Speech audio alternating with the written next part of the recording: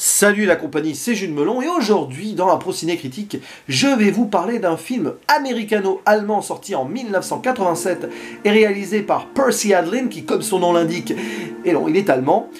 Bagdad Café ou Out of Rosenheim, je crois que c'est le titre original, j'ai pas ça sous les yeux. Avec au casting l'allemande Marianne Zegebrecht, j'espère que je n'écorche pas son nom, nous avons aussi CCH Pounder, qui sera ensuite euh, reconnu dans des séries comme Urgence ou Sons of Anarchy. Jack Palance, un acteur euh, qui a eu une carrière assez fructueuse et qui remportera l'Oscar du meilleur second rôle, non pas pour ce film, mais pour un autre 5 ans après. Citons également Christine Kaufman. Pour une comédie dramatique qui est surtout connue pour sa chanson originelle, hein, euh,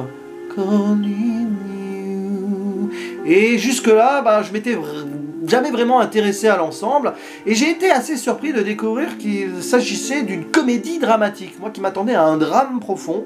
Non, c'est assez amusant, burlesque, et surtout contemplatif pour l'histoire donc de ce Bagdad Café, une sorte d'hôtel-restaurant diner miteux perdu près de la route 66 en pleine Californie, en plein désert du Mojave, où il se passe pas mal de choses. Brenda qui tient les lieux est très énervée, elle vient de se disputer avec son mari qui est parti. Elle a du mal à accepter sa situation et un beau jour arrive, venue de nulle part, une touriste allemande euh, prénommée Jasmine qui vient de quitter son mari, voilà, dans un endroit totalement improbable et elle échoue donc euh, à cet endroit. Et on sent qu'entre les deux femmes, ça va pas coller. Elles sont pas du même monde. Brenda ne voit pas d'un très bon oeil l'arrivée donc de Jasmine, d'autant plus que celle-ci est assez entreprenante, mine de rien.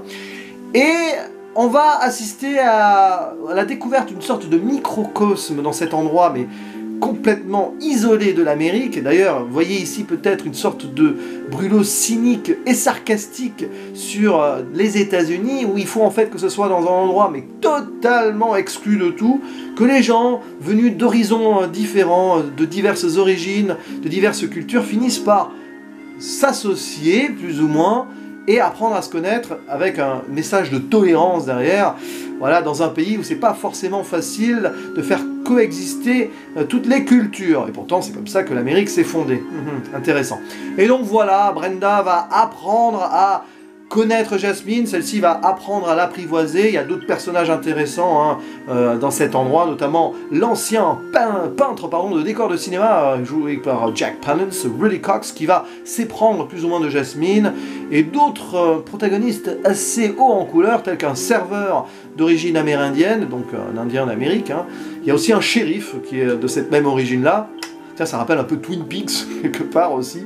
Et une tatoueuse ainsi qu'un lanceur de boomerang, voilà.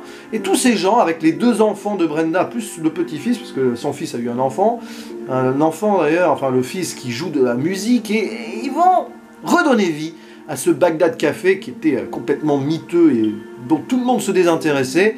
Et par euh, les arts, la magie, la musique, ils vont attirer les gens et euh, voilà, un second souffle va, on va dire, naître de cette association improbable de gens qui n'avaient rien en commun sur le papier, si ce n'est peut-être l'envie d'un nouvel espoir. Voilà ce que c'est ce film, et c'est beau. Alors, j'ai pas spécialement ultimement accroché, mais j'ai vraiment aimé l'ensemble. Attention, hein.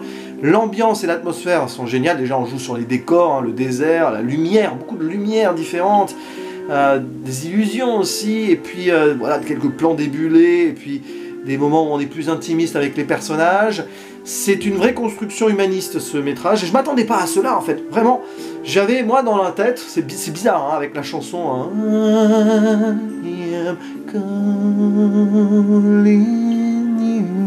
Tiens, ça tombe sur le refrain donc je la chante. Plutôt un truc avec peu de personnages, très sombre, avec peu de dialogue et peu d'interaction, mais pas du tout. Bien sûr, il y a un côté dramatique, mais c'est quand même assez enjoué et feel good comme ensemble. Donc voilà, des fois on est surpris par un film comme ça qui peut avoir dans notre subconscient quelques potentiels euh, stéréotypes, mais pas du tout. Voilà.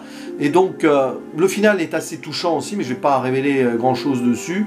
Mais voilà, là j'y vois aussi une relecture certaine du rêve américain avec encore une fois États-Unis, ces États-Unis pardon, avec des rejetés, des exclus de la société, qui se retrouvent finalement ensemble en dehors de tout et qui arrivent à vivre leur vie peut-être mieux qu'ils ne l'auraient vu s'ils avaient essayé de s'intégrer ou s'ils avaient pu s'intégrer, si on avait pu leur laisser la possibilité de s'intégrer. Et c'est amusant de voir qu'il s'agit ici d'une touriste allemande, donc quelqu'un d'étranger complètement, qui arrive à faire vivre cette nouvelle flamme voilà, donc euh, je ne sais pas exactement quel est le message précis derrière, j'ai pas fait de recherche en ce sens, mais c'est intéressant à analyser euh, sur ce plan-là. Les acteurs sont très bons. Alors Marianne Zegerbrecht, euh, qui donc est à mon avis une artiste dans l'âme, au-delà même d'être actrice, ça se sent, j'ai pas fait de recherche non plus, mais je l'ai vue dans d'autres films, figurez-vous, d'ailleurs, Astérix, Obélix, Mission, pas Mission Cléopâtre, contre César, elle a joué Bonne Mine. Pas forcément son meilleur rôle, mais je l'avais découvert là-dedans. Mais oui, elle est vraiment complètement impliquée là-dedans. Euh, elle est magicienne hein, dans le film. Et puis tous ces gens autour, la CCH Pounder, elle a vraiment un charisme fou, cette actrice. Et je l'avais déjà repéré dans certaines séries, justement. C'est pas étonnant, quoi. C'est ce film qui l'a rendu célèbre. Et vraiment, elle a une gueule, quoi, elle a une présence. Bref, si vous n'avez jamais vu ce film, foncez, parce que finalement, il a beau être super connu. Il a d'ailleurs eu euh, le César du meilleur film étranger en 89, si je m'abuse. Plus connu pour sa musique, mais peut-être pas par son contenu. Donc voilà, peut-être une découverte à faire, alors que les beaux jours estivaux arrivent, en espérant que ces jours estivaux, justement, soient beaux. Bref, c'était tout ce que j'avais à dire sur ce film. Je vous dis à la prochaine. Ciao